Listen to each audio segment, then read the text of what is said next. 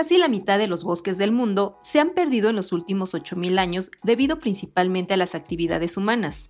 Esta reducción es especialmente pronunciada en los últimos 60 años, en los cuales la superficie de los bosques en el mundo ha disminuido en 81.7 millones de hectáreas. En este sentido, la deforestación en la Amazonia brasileña ha experimentado una significativa disminución, mostrando su nivel más bajo desde 2017.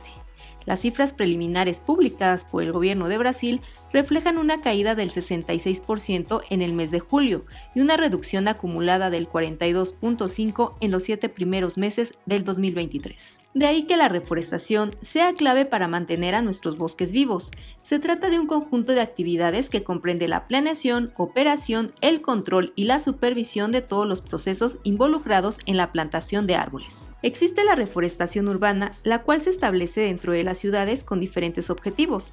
Se clasifica en estética, de investigación, experimental, moderadora de ruido y como control de sombras. Por otro lado está la reforestación rural, que se establece en superficies forestales o potencialmente forestales donde originalmente existían bosques, selvas o vegetación semiárida y que se clasifica como de conservación, de protección y restauración agroforestal y productiva. Es importante tomar en consideración la utilidad de las especies para la población local, ya que ello redituará en una mejor conservación de las zonas restauradas. De acuerdo con los especialistas, para ayudar a lograr los objetivos la reforestación, se debe urgentemente revertir o al menos aplanar la curva de la pérdida forestal neta global, conservando los bosques restantes del mundo y restaurando y rehabilitando los paisajes forestales degradados.